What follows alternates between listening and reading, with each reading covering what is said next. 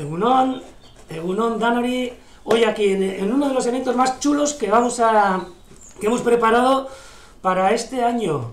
Aquí hoy además veis que no estoy solo, no estoy solo, aquí Eduardo Unamuno, desde el Urdaibai Center, hoy con Aitor, Aitor Galarza, el director del proyecto de la pescadora, el, del, el director del proyecto de recuperación de la pescadora, y aquí en Urdaibai, y detrás nuestro ahí podéis ver el nido de las águilas pescadoras de Urdaibai, y en este momento, pues una de las pescadoras. Vamos a acercarnos un poquito, a ver, suave, suave, de qué pescadora puede tratarse esta que se ve ahora mismo en el nido situado en la mitad del estuario de Urdaibai. Esta tiene pinta... Ahí la tenéis. Disfrutar de estas imágenes increíbles, Sí, sí. las primeras, ¿eh? Las primeras que se pueden ver aquí de un nido de pescadora, un nido de pescadora en marcha, como os, os hemos veni- venido diciendo desde hace una semana, pues las águilas pescadoras llegaron a Urdaibai, las águilas pescadoras del proyecto de recuperación. Primero en llegar fue Roy, que tiene toda la pinta de que es este, ¿no, Hitor? Sí, yo creo que es Roy, sí, uno. Eh, sí, parece que es Roy. Roy llegó como hace unos 15 días y bueno, estuvimos esperando pacientemente a ver si aparecía, digamos, su novia o la hembra Landa, con la cual se emparejó el año pasado y, bueno, estuvieron cuatro meses juntos, ¿no? Y bueno, la verdad estábamos un poco nerviosos, ansiosos, a ver qué iba a pasar, si volvería o no volvería, pero el día 30, o sea, hace una semana, ocho días, pues ya vino la hembra, ¿no? Entonces, eh, bueno, nos- eh, eh, el, el ha tenido la, la buena idea de, de instalar una, un- una cámara de tal manera que, el proceso de reproducción de la cría del águila pescadora en Urdaibai la pueda ver pues todo el mundo, ¿no? desde cualquier punto del planeta. ¿eh? Eso pues, nos va a dar mucha información, aparte de ser bueno, pues, un instrumento de conservación eh, importantísimo y de educación ambiental. Sí, y bueno, y aquí lo más importante, eh, estamos ante una cámara que está enfocando a águilas pescadoras. Son animales salvajes, animales eh, que viven en libertad y que bueno, que tienen su ciclo de vida durante el día. A veces estarán, otras veces no estarán. Y ahora, pues bueno, tenemos la suerte de por lo menos de poder ver a este ejemplar de aquí que prácticamente, sí, es Roy, es Roy, es el macho de las águilas pescadoras. Eh, se le ve como el plumaje así un poco desgastadillo, pues de que habrá tenido un invierno bastante duro en África, pero bueno, después de haber salvado todas, todos, todos los peligros y bueno, todos los eh, accidentes geográficos, mares, desiertos, pues para poder llegar hasta aquí, pues lo tenéis aquí ahora mismo acicalándose, acicalándose con unas imágenes chulísimas de las primeras águilas pescadoras en directo. Ahora mismo, mira, podéis ver incluso Eh, cómo nos miran. El macho este, Roy, ahora lo que está haciendo es limpiando eh, bien el plumaje, eh, porque tiene que tener el plumaje en perfecto estado para poder pescar. Probablemente eh, ha pescado hace poco, hace una hora o así, entonces eh, eh, después de cada lance pesquero pre- preparan perfectamente el plumaje, de alguna manera también utilizan una especie de glándulas que impermeabilizan un poco eh, eh, las plumas porque tenéis que tener en cuenta que estos ejemplares pescan lanzándose sobre las presas, o sea, sobre los peces y sumergiéndose en el agua, ¿no? Con lo cual, bueno, pues continuamente están mojados. Cada vez que lo hacen, vuelven a una percha y se preparan para restituir el plumaje para poder estar en perfectas condiciones. Sí, y fijaros, ¿eh? este es el nido, el nido que, bueno, un nido artificial que se colocó hace, pues no sé, el 2013, yo creo, ¿no? 2013, El sí. 2013 cuando empezó el proyecto de recuperación, cuando llegaron las primeras águilas pescadoras, es más, cuando llegó Roy, cuando llegó este ejemplar que veis aquí, que fue el 2013, ejemplares traídos desde Escocia, desde Escocia cuando eran pollos y criados aquí, criados aquí, traslocados desde, desde las Highlands y en este momento, pues, lo que suelo decir yo un poco en bromas, ¿no? Totalmente basquizadas. Les hemos traído desde Escocia, las hemos convertido euskaldunes, total, y bueno, y año tras año, este ejemplar que estáis viendo ahora, Roy, ha estado regresando a su zona de cría, que es esta, la de Urdaibai. Eligió el nido colocado eh, delante de donde se estuvo haciendo el proyecto, el nido artificial colocado, pero que luego ya lo han naturalizado ellos. Todos los materiales que veis aquí, que veis en el nido son materiales traídos por, por sobre todo en los primeros años por Roy, por ese águila pescadora que tiene una anilla, le tenemos puesto nombre, pero tiene una anilla para identificación que es N3, una anilla amarilla, y ha estado trayendo, recreciendo el nido año tras año, y por supuesto, en esta época que suele llegar, pues le gusta tener el nido bastante, bastante chucun, como se dice, bastante bien preparado, pues para cuando iba a llegar, pues la pareja, ¿no? Landa, que en este momento está ausente, pero aquí podéis ver el nido, el tamaño que tiene el nido, fijaros que una águila pescadora, pues más o menos puede tener unos 1,70 o 1,50 de envergadura, pues fijaros el gran tamaño del nido, con un montón de, palos, eh, juncos, incluso hay algunos plásticos que hemos estado observando que ha estado trayendo. Y pues los plásticos, eh, bueno, es un poco preocupante el uso de plásticos a veces porque puede llevar, sobre todo cuando hay crías, puede llevar al, al ahogamiento de alguna de las crías, ¿no? Por, porque se enreda, etcétera. El tema de los plásticos es un tema muy, muy peliagudo para las aves acuáticas. bueno, en general para todas las aves, ¿no? Sí, aquí podéis ver uno de los plásticos. Esos no sé, son, es como si sería una racia o no sé lo que encontró, una, red, o algo así que encontró ayer. Probablemente de esas que se utilizan para envolver las cebollas o las eh, patatas, etcétera, y que luego alegremente pues mucha gente las tira al río y acaban en el mar y bueno, pues son un peligro para, para, las aves y para toda la fauna en general, e incluso para el propio ser humano, ¿no? a través de la, de la conversión de esos plásticos en microplásticos, ¿no? que al final terminan, a través de la cadena alimenticia, terminan en nuestro propio cuerpo. ¿no? Y, y, lo, por lo demás, pues eso traería con toda la buena voluntad para acolchar el nido, como veis, ese nido con un montón de ramas, y ramas, algunas más grandes, más pequeñas, pero el centro acolchado pues con esos juncos, hierbas, incluso esos plásticos que, que recogen, ¿no? La cámara nos va a permitir, eh, nos va a permitir, mira, mira, mira, mira, acaba, acaba, de, llegar, mira, y anda jugando además, casualidad, anda intentando mover el plástico, a ver, ojalá se le ocurra echarlo. No creo, que parece que le gusta, le gusta, le, atrae, el color. Mira qué gozada, aquí podéis ver en directo a Roy Está Ahora mismo preparando el nido, está poco a poco todos los días se, se, dedica a preparar un poco el nido y me imagino, vamos a tener la suerte, gracias a esta cámara, de poder ver la, la, puesta cuando se produzca, poder ver el nacimiento de las crías y todo el desarrollo, ¿no? Es, la verdad es que es un lujo, es un privilegio para Urdaibai y, y en general para todo Euskadi, ¿no? De, bueno, y para todo, todo el mundo, ¿no? tener la posibilidad de observar en directo estas, eh, eh, eh, esta maravilla, ¿no? Es porque realmente es una maravilla, ¿no? Yo, yo mismo, vamos, estoy extasiado ¿no? viendo esto, o sea, enganchado a, la cámara. Sí, bueno, es una, es una gozada después de haber andado tantos años con el, dentro de este proyecto, viendo cómo regresaban, el poder verlas ahora tan de cerca, ¿no? Lo más cerca que las tuvimos fueron cuando eran crías, cuando eran, cuando eran pollos, diríamos, y ahora mismo, pues es que, vamos, las tenemos ya delante de, nuestro, de nuestros ojos en casa, y el poder ver cómo está huecando el nido, eh, preparando pues para la posible, esperemos que segura puesta que vayan a, realizar, ¿no? Luego os enseñaremos también algunas cosas que, hemos grabado, pero primero, mira, fijaros, porque lo más importante es verlo en vivo y en directo. En vivo y en directo, ¿cómo? Ahora, a las 10 y 12 de la mañana está Roy arreglando el nido y preparándolo seguramente pues para que cuando venga Landa, que se encontrará quizás en estos momentos, vamos a, alejarnos un poco a ver si, si se ha acercado. Bueno, esto como, como, comprenderéis es un lujo porque cualquier persona va a poder acceder con un ordenador desde casa, ¿no? En cualquier momento va a poder observar qué es lo que está pasando.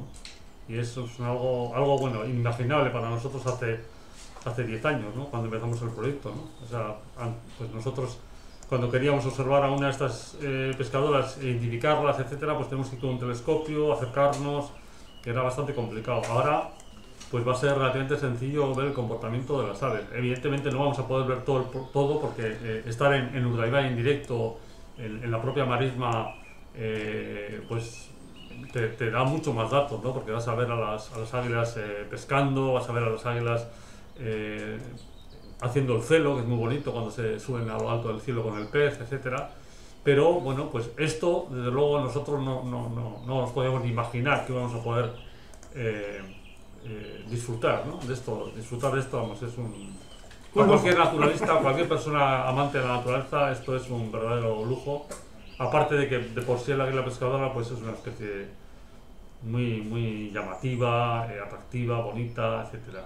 Y bueno, pues es un... Pues sí, y a ver, ahora mismo estamos viendo el Arroy. Eh, no estará muy lejos Landa. Landa que tiene una anilla identificativa de una anilla naranja que pone T06. T06. Este antes no sé si lo habréis visto, pero incluso en casa podéis rebobinar luego y podéis ver en diferido. Eh, veréis cómo tenía la anilla y se veía muy bien cuando ha entrado en el nido con las letras N3. Esta, el Andas eh, procede de.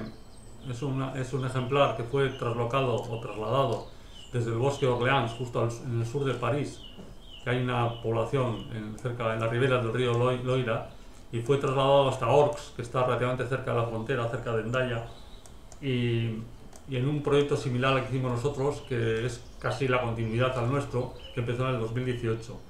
Eh, Landa fue, fue digamos, eh, traslocada ahí, a Orx, y desde Orx eh, hizo el, el, las, bueno, las águilas pescadoras, todos los jóvenes están un par de inviernos en África, y al segundo año eh, Landa volvió a, digamos, al Golfo de Vizcaya y en vez de acercarse a Orx, pues lo que hizo fue directamente venir a, a Urdaibai, ¿no?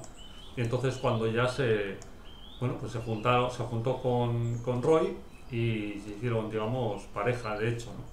Sí, que andábamos diciendo que ahí lo teníamos a Roy, a Roy como el solterón de aquí, de Urdaibai, que ya, ya... Este es el séptimo año que llega. Sí. Entonces, pues hasta el año pasado, pues bueno, tenía algunos ligues por ahí de vez en cuando, pero nada concluyente. Y el año pasado ya se vio que, que bueno, parecía que había atado nudos con Landa, con ese T06. Y pues bueno, pues este año la sorpresa, bueno, sorpresa, lo esperábamos, pues bueno, pues han llegado los dos, cosa que como antes he comentado también, pues es cosa difícil. Después de tener que pasar un año entero en África, y, bueno, un año entero, perdón, un invierno entero en África y, y volver para, para criar, tanto uno como la otra. O sea que, quiero decir que un lujazo que hayan vuelto los dos, o sea que este año pues las cosas pintan muy bien, pintan muy bien, aunque también tenemos que decir que el proyecto Aitor, eh, desde, desde hace un par de años ya, había eh, águilas pescadoras que ya han tenido crías aquí en, en el Cantábrico, bueno, diríamos en la, hacia las Landas, y se trata de N4, un águila pescadora también que se crió con Roy en el 2013 y que ya hace tres años, creo, si no me equivoco, ya, ya Sí, tuvieron tres sí, eh, en, en la- en este momento hay seis machos del proyecto de Urdaibai repartidos por todas la- las costas del Golfo de Vizcaya, desde, desde Cantabria, donde hay dos parejas, hasta, hasta el norte de las Landas, donde hay tres parejas. Una de ellas lleva criando desde el año 2019. Eso es. Eh, el 2019 sac- sacó adelante dos pollos, el 2020, perdón, desde el 2018, el 2018 sacó adelante dos pollos, el 2019 eh, un pollo y, en el, y el año pasado sacó otro pollo. Y este año están ya incubando. Y las otras, los otros cua- cinco machos que hay, junto con, o sea, cuatro más Roy, eh, todos ellos están emparejados este año, emparejados con- con hembras que tienen ya la edad suficiente como para criar, con lo cual es muy probable que este año se produzca una gran explosión de águilas, bueno, explosión, digamos, un- una gran reproducción de águilas pescadoras y se inicie la colonización de toda la cornisa cantábrica, ¿no? Y probablemente con el tiempo también, eh, pues las, los- las zonas húmedas del interior, como pueden ser los pantanos de Álava, ¿no? que es un sitio muy adecuado también para las águilas pescadoras. ¿no? Esto digamos que sería el, el núcleo de la población, el que hemos creado a través de los machos del proyecto Urdaibai. Y poco a poco, bueno, pues estos mach- estas parejas se irán reproduciendo y esas crías retornarán y poco a poco irán engrandeciendo la población del Golfo de Vizcaya, ¿no? que es un poco uno de los objetivos del proyecto, aparte del objetivo medioambiental de conservación, aparte del objetivo de educación ambiental, que digamos que esto se enmarcaría en, ese contexto, uno de los objetivos es crear una población entre- reproductora entre las poblaciones del Mediterráneo y las poblaciones del norte de Europa, ¿no? porque aquí existía como un gran vacío en toda esta zona de, reproducción. Entonces, este va a ser, digamos, eh, el nexo de unión entre las poblaciones desde el norte y las del sur. De hecho, de hecho eh, curiosamente, eh, hay una pareja, un, macho, uno de los machos está, está emparejado, el que está criando, con una hembra que procede de la isla de Córcega, o sea, del Mediterráneo. Otro, otro de nuestros machos, PF, está emparejado con una hembra que proviene de Cádiz. Y, y el otro macho, U18, está emparejado con una hembra que procede de Alemania, a 1200 kilómetros. ¿eh? Con lo cual vemos que estamos produciendo una población que hace de nexo unión de, las poblaciones norteñas y las poblaciones eh, meridionales, ¿no? que es algo muy interesante porque se suponía que estaban separadas desde el punto de vista genético, cultural, etcétera, y eh, nuestro proyecto está, está produciendo, nuestro proyecto junto con el de los franceses de, de está dando unos resultados eh, bastante, bueno, inesperados, ¿no? El hecho de que seamos capaces de captar, que hasta aquí lleguen hembras del Mediterráneo, era una cosa que no nos esperábamos, no nos esperábamos.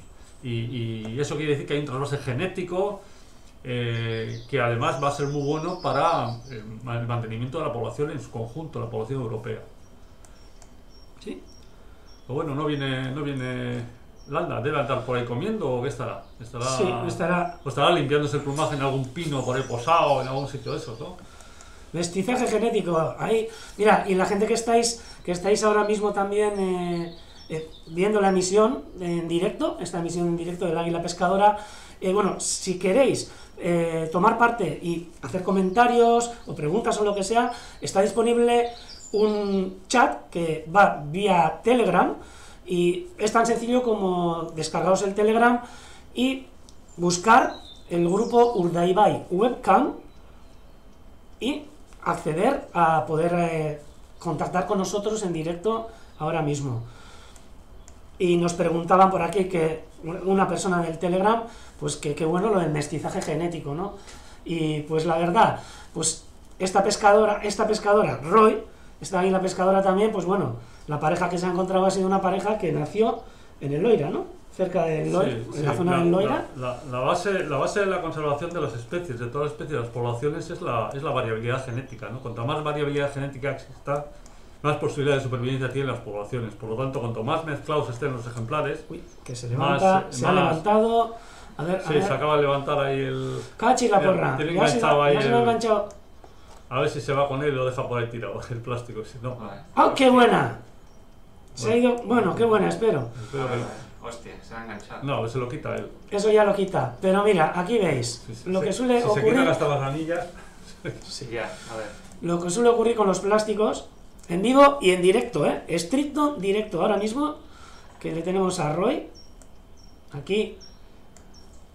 Esperando a Landa, creo aunque hoy a la mañana estaban juntos. ¿eh? Luego os vamos a enseñar también cómo ya desde que llegaron, pues empezaron a copular y bueno, toda, toda, la juerga.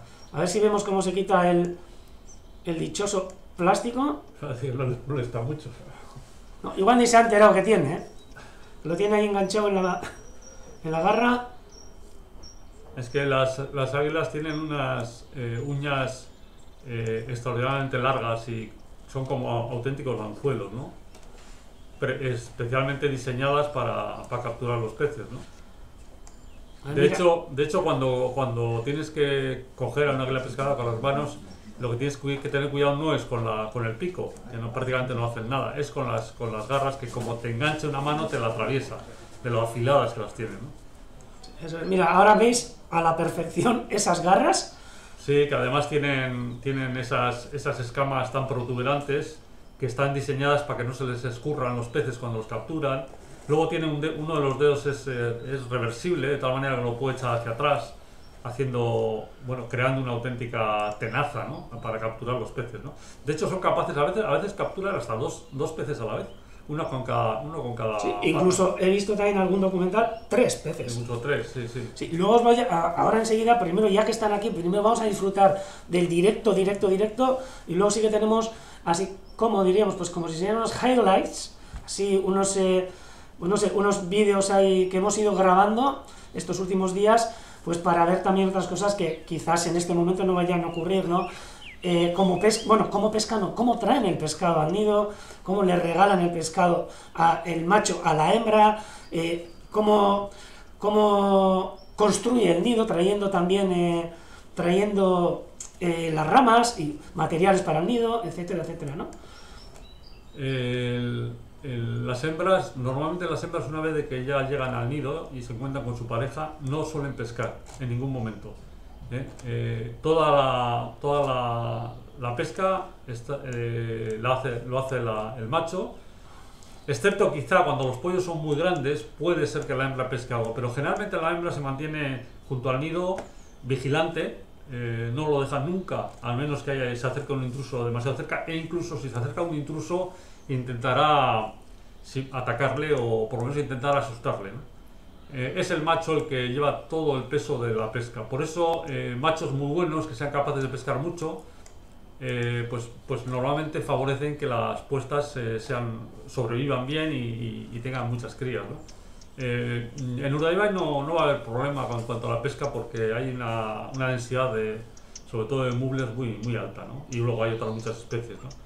Pero bueno, esta cámara nos va a permitir ver cuál el, cuáles son las presas que llevan al nido, eh, con qué intensidad, eh, un montón de datos que bueno, que para la cornisa cantábrica van a ser nuevos, ¿no? O sea, aquí no, no- nunca, nunca se ha, vamos, no se conoce, desde hace cientos de años no se conoce que críe la, el águila pescadora y desde luego nunca hemos tenido este instrumento para poder estudiar con precisión y sobre todo comodidad eh, el águila pescadora. Ahora, ahora creo que está intentando quitarse el plástico, no sé si lo va a quitar, si se le va a caer. Casualidad, cosas del directo. Y pero bueno, así, así se aprende y se ve, se ve qué es lo que les ocurre día, día tras día, ¿no? Porque esto, desde con los telescopios y demás, pues es muy difícil de poder darte cuenta de lo que está ocurriendo, ¿no? Entonces, pues bueno. Pero esto pasa a un montón de aves, ¿no? Este, este tipo de, de historias, ¿no? Eh, bueno, ahora con las mascarillas incluso, ¿no? El hecho de que no, cuando, cuando tiramos al contenedor o, a- una mascarilla no le rompamos, no le cortemos las... Se lo ha caído. Lo ha perdido, vale, pues ya está. No- Vamos, creo que ha venido al poste, a ver si puede ser cierto, o igual se ha ido, ¿eh? porque venía, Ahí sí, está, está, está está ahí, en el poste, ahí. nos vamos a acercar con mucho cuidado para... ¿Eh? No, se ha ido. No, se ha ido, ahora Abre, abre más para ver si... sí, a ver, vamos a abrir. Y quizás le haya llegado la hora de ir a pescar.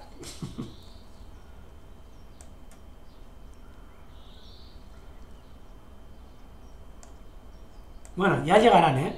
Ya volverán y además ahora, como ya sabéis, vais a tener eh, vais a tener tanto en nuestra página web en Urdaibai, en www.urdaibercenter.org hay una pestaña donde vais a poder clicar, cliquear y acceder a lo que es la cámara en directo o incluso por nuestro canal de YouTube, que veréis ahí dentro de los eventos, pues el directo de esta cámara, el directo de esta cámara que incluso se ve prácticamente hasta que anochece, incluso a- cuando está oscuro, con las luces que hay en el entorno y la claridad que te puede dar la luna y así, también se pueden llegar a ver las águilas pescadoras y es donde vimos, por ejemplo, la primera cópula que dentro de poco os voy a enseñar. Bueno, hay, hay, hay- un, un- un- a- una persona que comenta el tema de, la, de cómo proteger a la pareja de, de las molestias, ¿no? Eh, nosotros nos planteamos este proyecto también como una manera de, de introducir en Urdaibai, de recuperar para Urdaibai. Aquí viene, aquí viene, aquí viene. Sí. Mira, ¿eh? Ahí va. Y se viene... Ah, no, Con se ha venido con material. Sí. Sí, señor, mira, vamos a ver. Este es el directo, ¿eh? Que nos va a dejar unas imágenes súper chulas de cómo, ahora mismo, por ejemplo, acaba de llegar un Roy, poco de algas o que ha traído sí, unas algas. con ¿no? unas algas y unas... para acolchar lo que es el nido. Bueno, unas algas, no sé lo que es, sí, unas, parece una salicornio.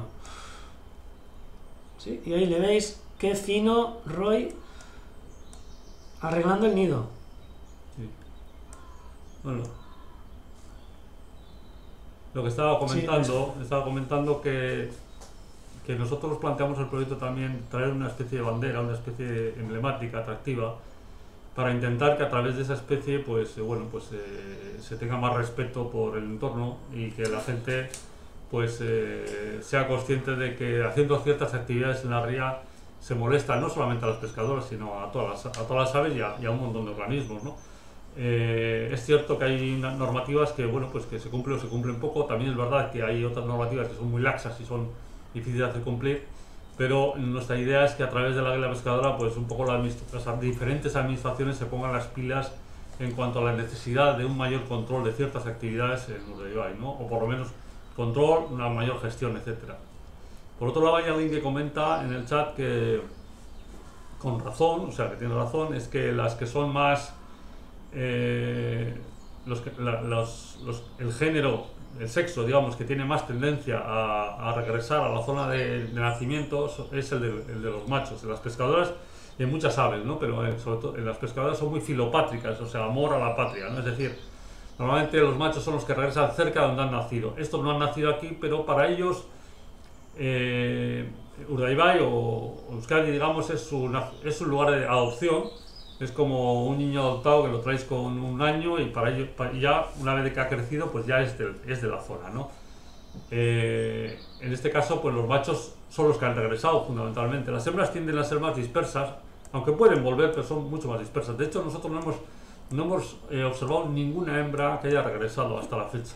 Acaba de irse otra vez. Y la hembra, por ejemplo, que tenemos nosotros, proviene de Orcs, que está como unos ciento y pico kilómetros, con lo cual, pues bueno, las hembras que se suelten en Orcs es fácil que se, que se asienten en- más alejadas de Orcs, mientras que nuestros machos han ido hacia, hacia aquella zona, la zona de las landas, ¿no? En este caso, es un, eh, no sé si ha sido casualidad o no, pero ha sido un- una cooperación internacional perfecta entre ellos y nosotros, ¿no? Entre, de hecho, eh, el proyecto francés, los miembros del proyecto francés acudieron a, a nosotros para, pues, para coger experiencia en cómo hacer el proyecto. Del mismo modo que nosotros acudimos a Andalucía, a Portugal o a, o a- o a Inglaterra para conocer cómo habían hecho este tipo de proyectos. ¿no? Poco a poco, pues la experiencia de- en, en cómo gestionar este tipo de proyectos va mejorando a través de la cooperación, eh, digamos, de, de- de todos los proyectos de- europeos y en general, ¿no? Aunque inicialmente lo- esto lo iniciaron los, los norteamericanos, ¿no?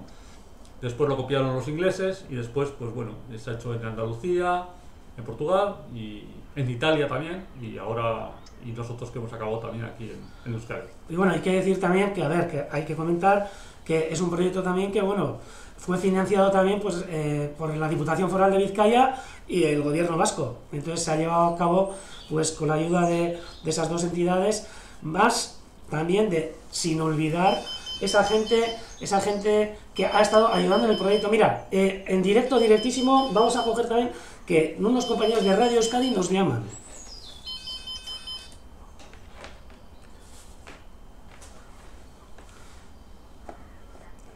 Sí, soy yo, soy yo. Sí, sí, sí. Sí. No, está encendido. ¿Este el que estás llamando? Vale, pues. Pues yo ya te he cogido, si estoy en. Estoy en. Estamos en línea. ¿No? No, no.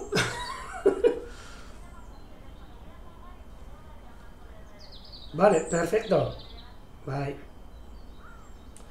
Mira, tenemos eh, ahora mismo también un directo, va a ser un directo, en directo con Radio Euskadi y que ellos también, pues bueno, todos los medios de comunicación también de aquí, pues eh, se han interesado por este evento y por esta, por esta novedad de esta cámara, esta cámara que nos enseña pues la vida de las águilas pescadoras eh, de Urdaibai, de esta pareja que se ha creado, ¿no? Y pues vamos a hacer una retransmisión en directo ahora mismo con Radio Euskadi, a ver si las cosas quería, funcionan. quería comentar, porque Sí, sí. hay algún comentario, que la zona en torno al águila pescadora está señalizada y está prohibido el, el acceso a esa zona. ¿eh? Hay, hay unas carteles de la Diputación Foral de Vizcaya donde se indica expresamente que ahí no se puede entrar en la época de cría. Por tanto, cualquier persona que entre ahí puede ser ¿Sí? sancionada. ¿Ahora? Vale, perfecto. Pues, eh, ¿con quiénes voy a estar? Vale, perfecto. Vale. Pues ahora mismo vamos a contactar con Radio Euskadi y también en directo, por supuesto. O sea que podéis escuchar también la radio todos los que estáis aquí en el directo y vamos a entablar una conversación que iré, iré transmitiéndolas a vosotros. Yo no voy a. Que yo no oigo. No, tú no oyes, pero luego te paso yo.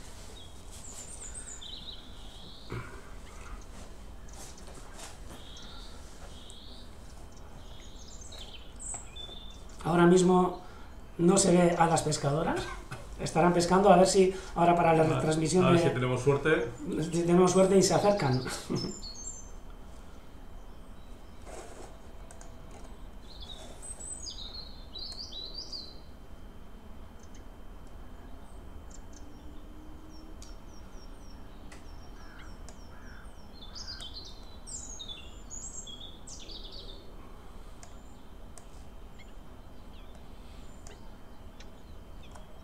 Luego os vamos a enseñar esos highlights que hemos dicho después de la entrevista.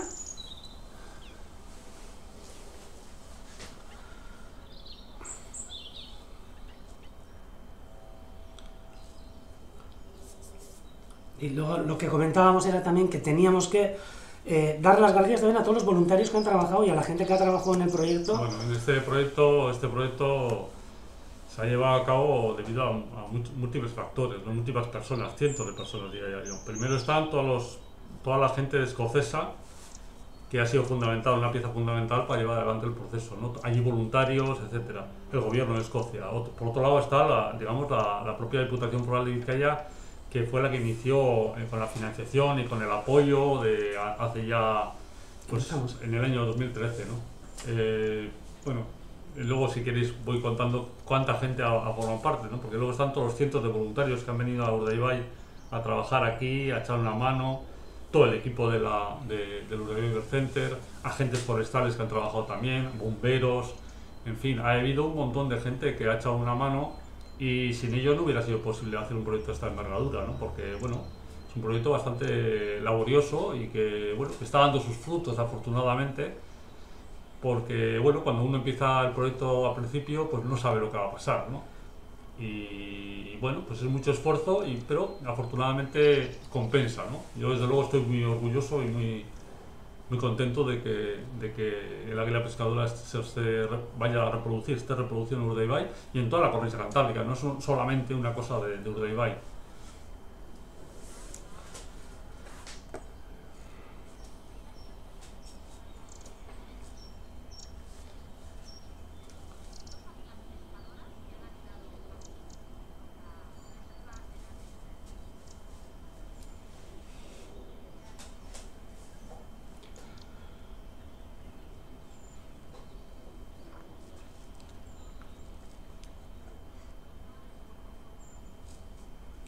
Egunon, Egunon María, además en exclusivo directo, directo.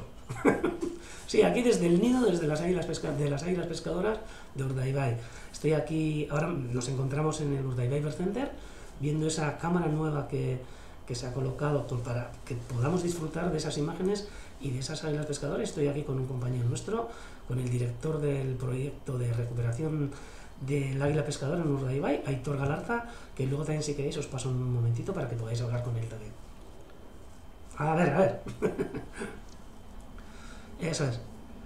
Va, pues mira, pues ha sido una gozada porque eh, a las 10 de la mañana nada más eh, dar salida o pistoletazo de salida, lo que es a, a- esta cámara en directo, pues nos ha aparecido el águila pescadora Roy, que ya es eh, totalmente conocida por la gran mayoría de los, de los eh, oyentes que, tiene Radio Euskadi, como mucha gente de, de aquí, bueno, de aquí diría, de todo el mundo ya, y ese Roy que llevaba viniendo siete años a, a Urdaibai a intentar criar y este año pues se ha acercado, pero no se ha acercado solo, se ha acercado con esa pareja que tiene también nombre, Landa, una hembra preciosa que bueno, pues han atado nudos y aquí están en este nido que ahora mismo lo vemos vacío, pero hasta hace, sí, no, pues luego podéis rebobinar, también se puede rebobinar un poco hacia atrás y ahí sí que podéis ver cómo ha estado Roy eh, recogiendo materiales para, para Ah, mira, creo que vienen, no sé si no va a venir enseguida alguno.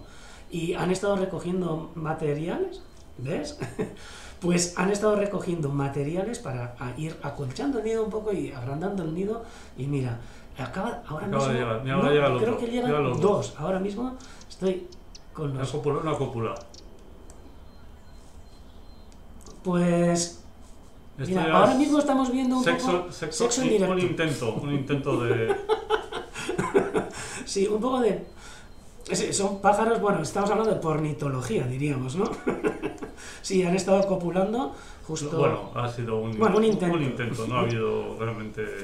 Sí, sí, sí, sí, sí, sí, pero ahora mismo en el directo, eh, lo que tenemos que tener en cuenta es que nosotros estamos hablando en directo en la radio, pero seguramente del directo que estamos haciendo nosotros eh, va a tener un retardo, un pequeño retardo, que no sé si pueden ser unos 20, 25 segundos, sí, y, y bueno, nosotros estamos ahora intentando mover un poco lo que es la cámara, y están las, está la parejita ahora mismo, aquí se ve, esta que se ve ahora mismo es la hembra, que se llama Landa, y bueno, que tiene una anilla naranja, Vamos a andar así quietos, quietos, poco a poco para que no se mosqueen. Y aquí veis a Landa y a Roy, a la parejita de águilas pescadoras de Urdaibai, que, que vamos, estamos nosotros encantados y me imagino que todo el mundo desde sus casas también, porque hay un montón de gente que está siguiendo ahora mismo el directo, esta emisión que estamos haciendo, junto a vosotros en Radio Sky, por supuesto.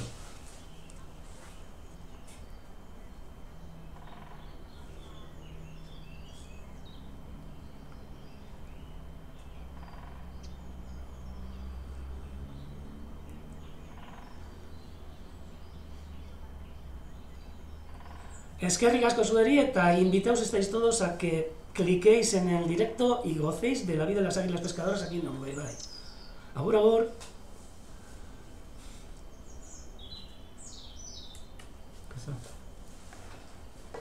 Esto, hemos tenido una transmisión en directo ahora mismo del directo con Radio Euskadi.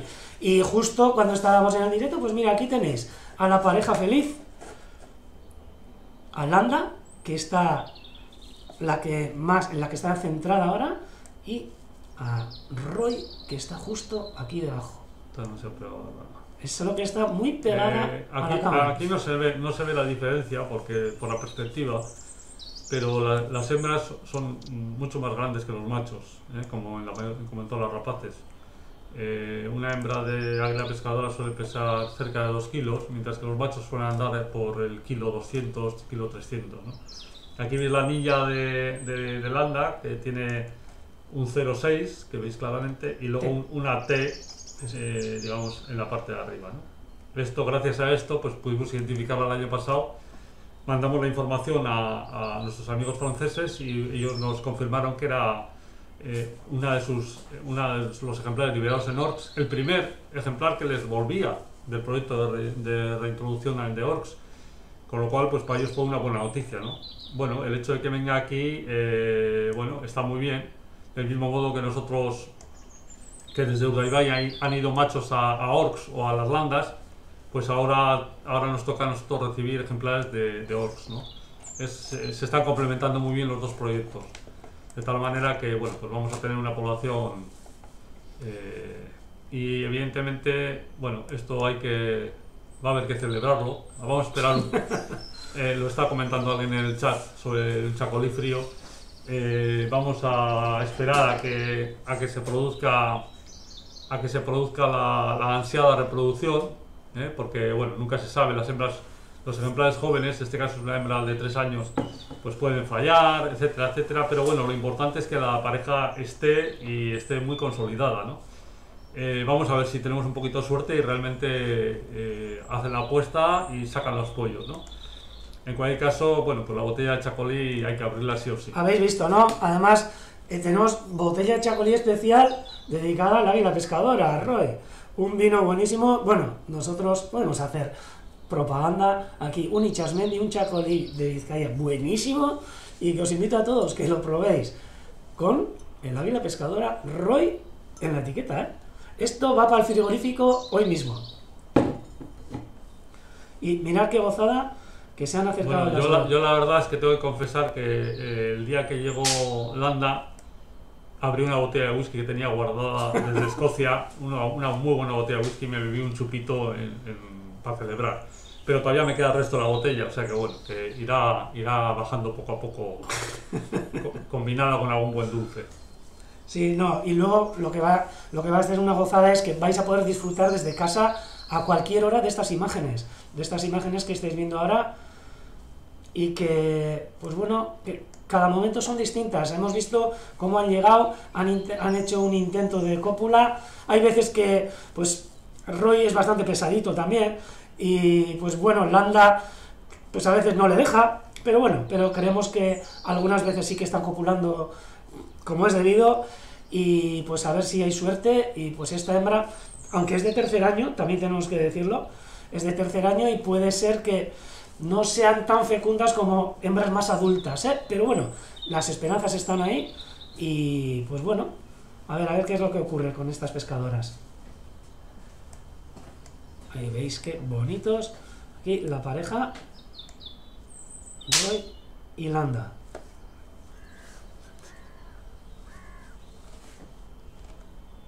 Aquí los veis. Un lujo de imágenes. Antes hemos estado bastante tiempo con Roy, pues ahora mira, vamos a fijarnos en Landa, que es mucho más oscura. No sé, se diferencia muy bien cuando se le ve de frente el pecho, pecho oscuro.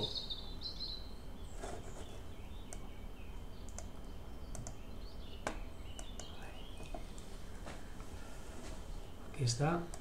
Fijaros qué ojitos tiene. Y nos están mirando.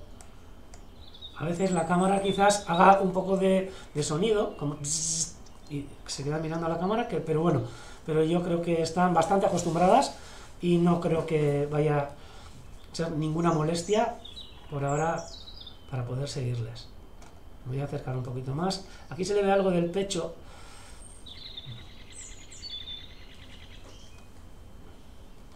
Vamos a acercarnos. Y aquí tiene pinta de como que se va a ir. Quizás al nido.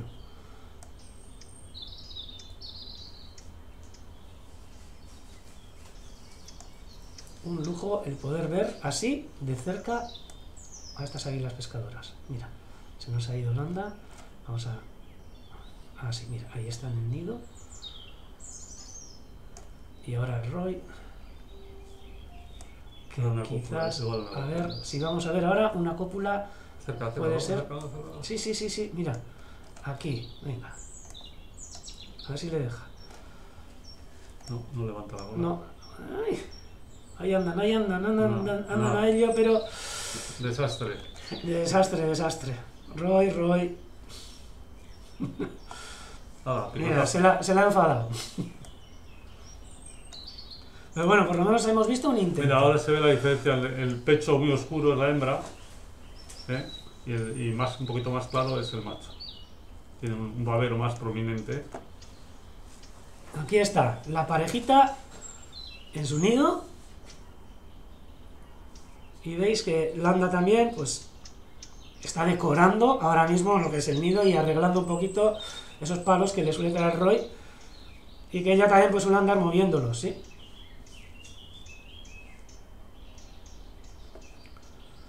Bai, hemen esaten digute ere, iaz, zuzeneko emanaldian Sankaluseekin genbiltzala, eta oso urduri zer gertatuko zen, batxitekin eta, ba, pentsa, aurten, arrano arrantzaleekin. Nos comentaban aquí en el Telegram, San Carlos, se- se- Sankalusea cigüeñuelas. Ah, vale.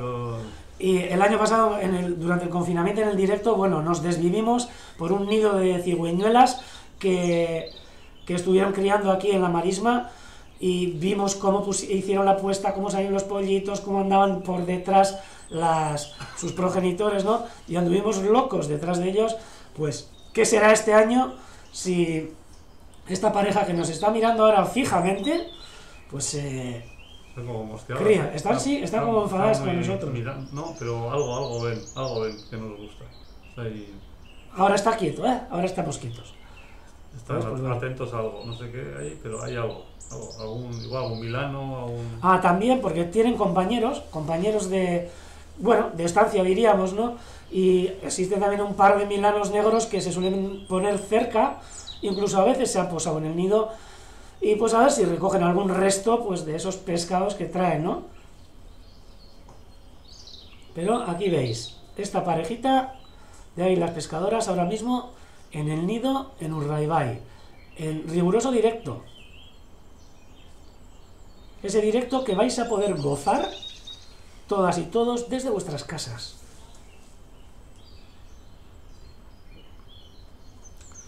Nos dicen aquí que el Landa va a pedir una hora sin cámaras. Bueno, ya veremos, ya veremos.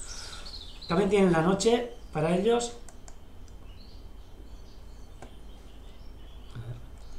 Con el zoom. Me voy a acercar un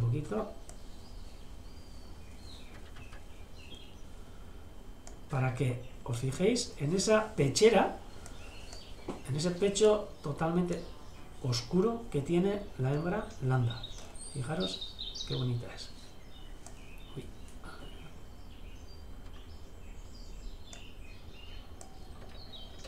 Ahora justo el sol está pegando de lado, pero bueno, podéis ver, bueno, ahora estáis viendo nuestras caras, pero mira, ahí le tenéis.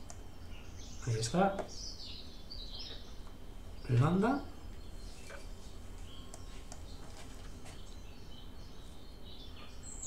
Menudas imágenes de pescadoras. Creo que hay gente que suele participar en el chat que le encanta hacer las capturas, capturas de pantalla de, de, de los eventos que solemos hacer y creo que os vais a poner las botas con las capturas de imágenes de águila pescadora. Vais a tener la opción, la opción de, de poder verlos en esta cámara. Y lo que sí pedimos es que seamos conscientes de que cuantos menos molestias tengan, mira, ahora se viene otra vez, creo que al palo, nos vamos a ir poco a poco alejando para ver la perspectiva de Roy en el nido, y ahora miraremos, me imagino que Landa, sí, Landa en la percha, aquí está. Aquí veis, bueno, te- tenéis nuestras caras ahí que están partiendo un poco. Ahí, ahí ahora mismo veis en directo.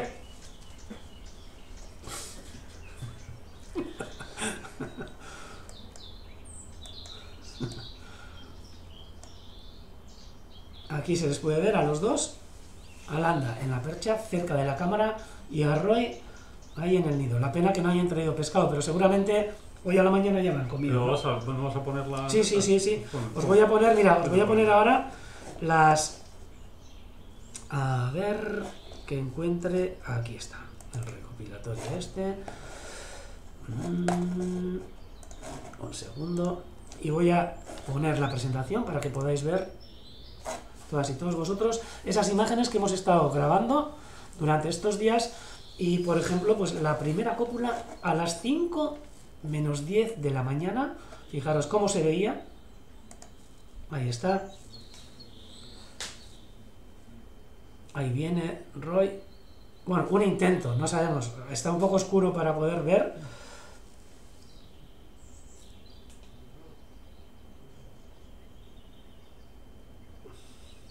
ahí podéis ver que a la noche también están activos Era un día de luna llena, ¿eh? eso es.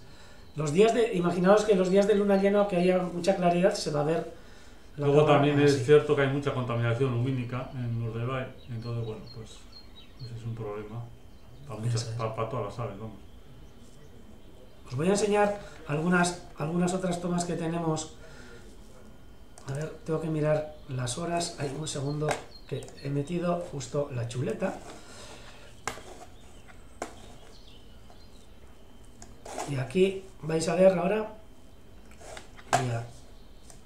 vais a ver otras imágenes de Roy Lambda. Me voy a acercar un poquito más. Voy a adelantar un poco hasta, hasta dentro de poco, que se va, va a ver cómo llegan, se va a ver cómo llegan también las dos pescadoras al nido, bueno, al nido y a, esta es Lambda y ahí está Roy. Y estas son las imágenes que vais a poder estar viendo vosotras y vosotros desde casa. Y incluso, mira, suele venir muy bien para saber qué es lo que están haciendo durante el día, cuánto pescan durante el día, si es... Bueno, hay veces que comen fuera del nido, ¿eh? Pero, pero muchas veces se les ve cómo llegan, a veces con... sobre todo con corrocones o con mubles, como ha dicho antes Aitor, pero también eh, de vez en cuando alguna lubineta, eh, algunos sargos o mojarritas, y también sobre todo, mira, ahí ha habido... Roy quiere, No, levanta la cola ahí. ahí levanta la Sí, cola, ahí está. Sí. Y bueno, parece que esta vez, esto sí se puede decirse que igual Sí, puede sí, ser una eso cópula. Sí, es una cópula, sí, sí. Sí. Sí, sí, ahí hay, ahí hay- aparentemente hay contacto. ¿no? Sí, sí. Luego No también, tenemos el punto de vista pornográfico de que se vea. No, nada, no, no. nada. Pero está bien, está bien. vamos a adelantar un poquito y nos vamos a venir. Hay, uf, hay intentos ahí, a veces eh, es un poco desastre. Y bueno, esto va a ser prácticamente todos los días.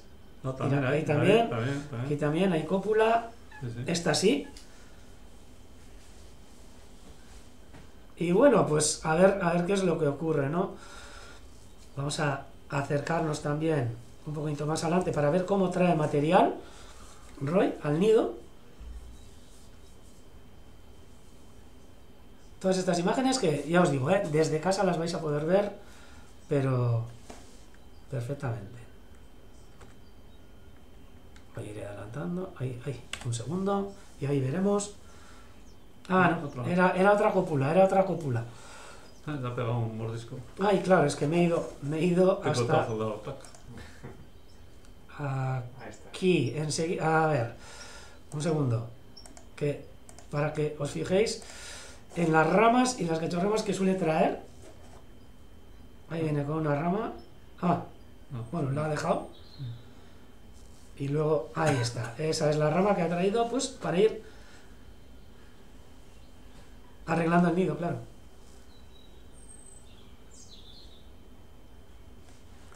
Y bueno, y vamos a ver también que son águilas pescadoras, que también pescan. Me voy a acercar poco a poco.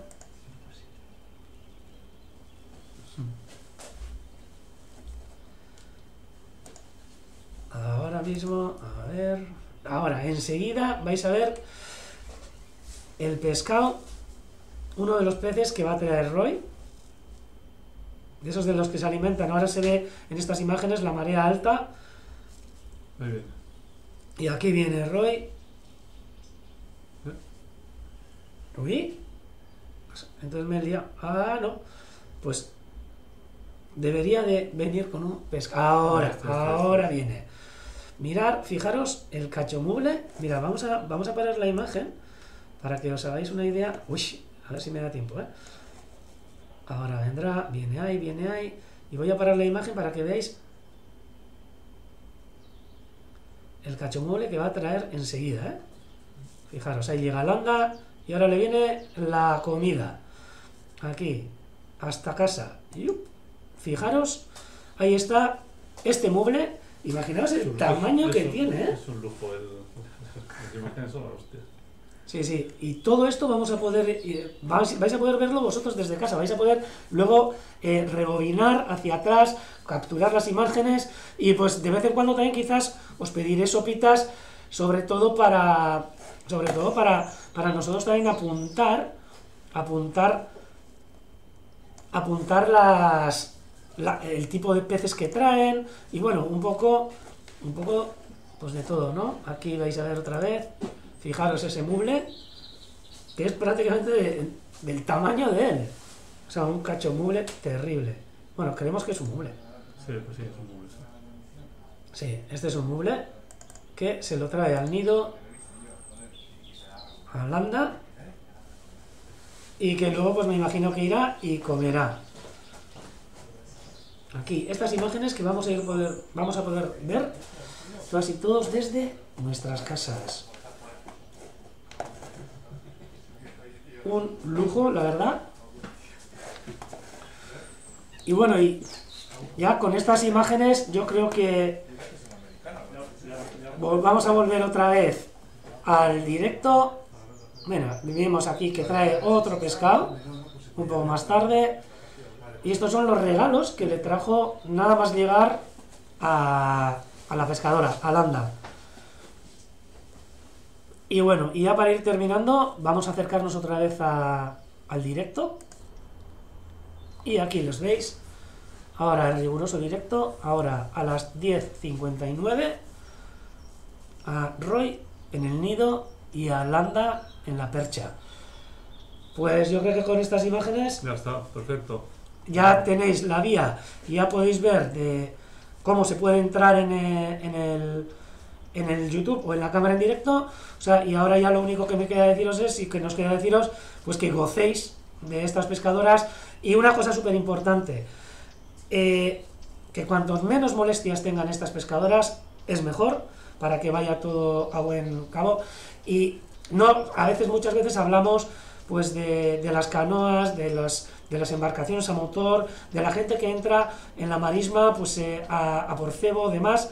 Eso creo que habría que controlarlo un poco, pero también la fotografía, la fotografía y el, el tener que meternos hasta allí mismo. Sí. Para esto se han colocado estas cámaras para que podamos disfrutarlos sin tener que acercarnos, para nada. El momento crítico, está preguntando alguien en el chat, a ver cómo cuándo pondrían huevos, ¿no? El momento crítico es cuando, efectivamente, cuando, cuando hay un, cuando están ya la, la puesta, ¿no? Que es el momento en que se pueden perder si hay muchas molestias, ¿no?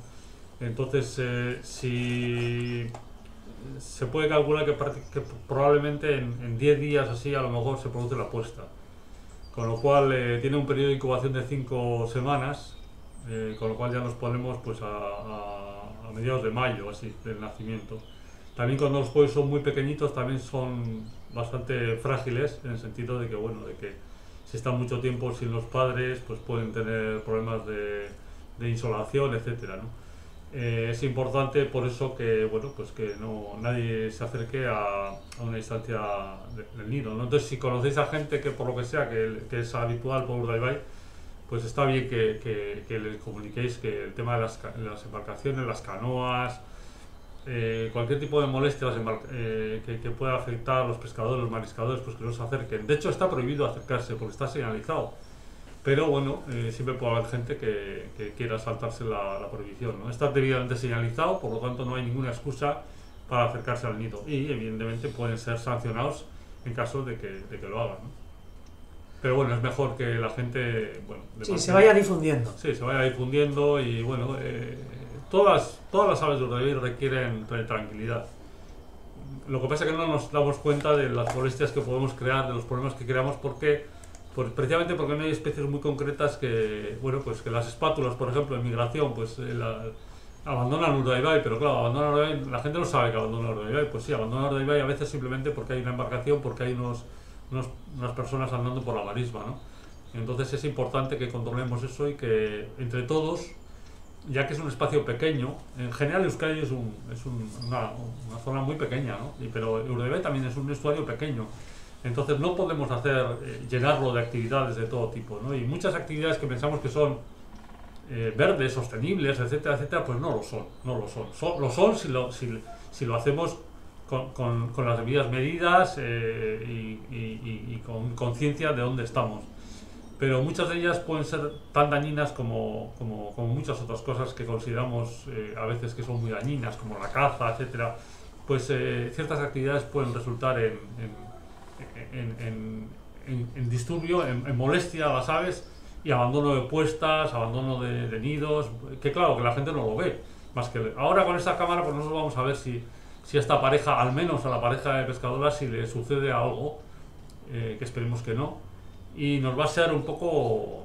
va- la cámara va a actuar un poco también de policía en ese sentido, ¿no? De ver qué es lo que, qué es lo que le está pasando y ver si realmente está siendo afectada la pareja por las molestias que, que, cre- que estemos causando en el estuario, en Urdaibai. Y bueno, y luego también comentaros que, que sí que tenemos pensado aquí desde el Urdaibai Diver Center en hacer visitas, en hacer visitas a un lugar seguro, desde donde poder observar estas águilas pescadoras con, con guías de, de aquí, del Urdaibai Diver Center, y que sacaremos a, las publicaremos pues eh, cuando veamos que, que bueno, pues estas, estas águilas ya se han asentado, pueden estar criando o pueden estar eh, ya con más tranquilidad.